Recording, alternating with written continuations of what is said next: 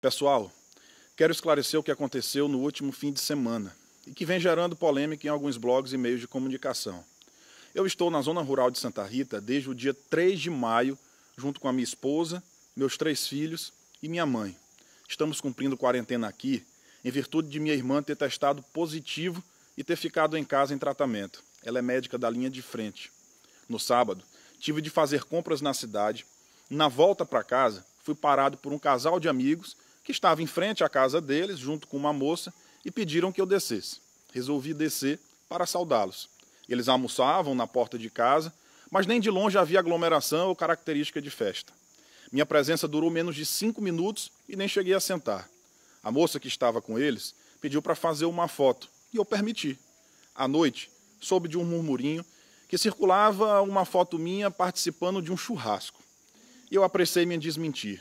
Fiz isso quase instantaneamente, porque naquele momento achei que se tratava de uma fake news com uma foto minha antiga. Afinal de contas, já participei de vários churrascos na cidade de Santa Rita em outros tempos. Tenho vários amigos aqui. Reconheço que me precipitei em negar e fiz isso porque eu simplesmente não participei de nenhum churrasco.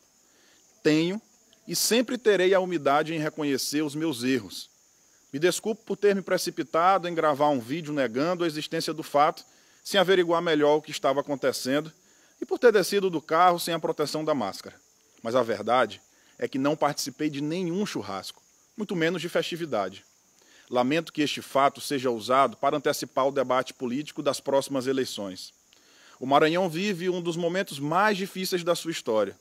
E num momento grave como esse, no momento de discutir assuntos realmente importantes, no momento que deveria ser de unir esforços no combate ao coronavírus, meus adversários resolvem me atacar de uma forma baixa, infantil e mesquinha. Aos que me cobram responsabilidade em tempos de pandemia, quero dizer que estou muito à vontade neste ponto, pois fui o primeiro político do Maranhão a organizar um movimento de solidariedade. Estou em casa, mas conte comigo. Assim que a pandemia começou em São Luís. E continuo o meu trabalho à frente de outro movimento, o Acolhendo Heróis, para acomodar em hotéis os profissionais de saúde que estão no combate ao coronavírus. Esta é a maior satisfação que devo aos meus amigos, aos bons profissionais de imprensa e ao Maranhão.